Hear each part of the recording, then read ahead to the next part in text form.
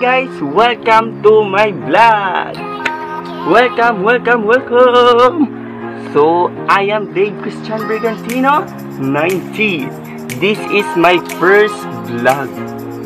So, ayan guys, panoorin nyo mga vlog ko at susunod nga mga vlog dahil mag-enjoy kayo. Dahil dyan guys, gagawin kong lahat para mag-enjoy kayo. Dahil quarantine tayo ngayon, boring-boring kayo. Wag na wag kayo. Boring. So ayan guys, this is my first vlog. At alam nyo na ba kung anong aking gagawin sa unang vlog ko? Ang aking gagawin ay walang iba kundi bakit ako nag-vlog.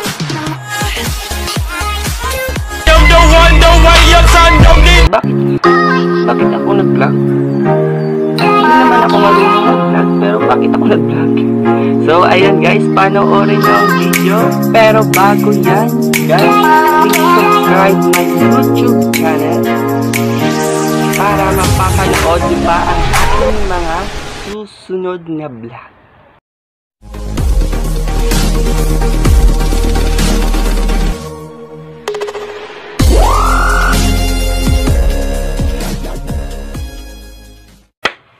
Ayan guys, dito nyo na malalaman kung bakit ako nag-vlog. Bakit nga ako nag-vlog? Bakit ako nag-vlog? Bakit ako nag-vlog? Bakit ako nag-vlog? Kasi gusto ko rin magpasaya ng ibang tao.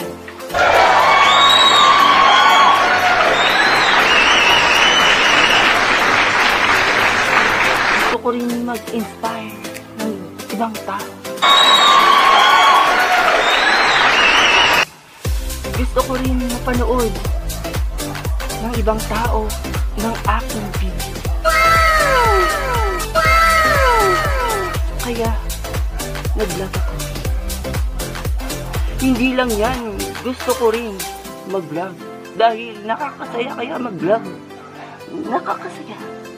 Nag-i-enjoy. Dahil life is so very short, guys. Kaya enjoy your life. Wag na wag natin sayangin ang oras natin sa taong hindi naman tayo mahalaga sa kanya. Charot. So, ayan guys. Ayan guys, nag-vlog kasi ako dahil wala na rin man ako masyadong ginagawa sa bahay. Nag-vlog ako, mas masaya pala yung vlog dahil makakausap mo yung ibang tao na hindi ka naman kinakausap, pinapanood ka. So, ayan, nag-vlog ako at gusto ko rin magparami ng ating vlog dahil maraming nag-vlog ako dahil nakikita ko sa iba yung mga vlogger masaya sila kapag ginagawa nila ang kanilang video dahil nakikita ko na masaya sila. Nag-vlog na rin ako. Ang saya-saya pala guys. Woo, saya, saya. ang saya pala guys na mag-vlog.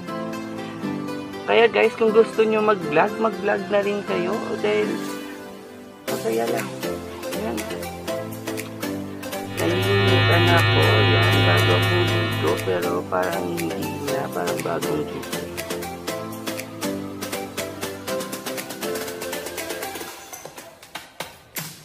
So yan guys, bakit ako nag-vlog? Dahil gusto ko rin matuto kung paano mag-vlog at matutong mag-edit ng video mo.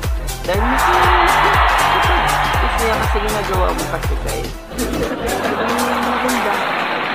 Ang follow ng iyong buhay. At dahil dyan, yan nag-vlog ako dahil masaya rin ako nag, kapag ako nag-video.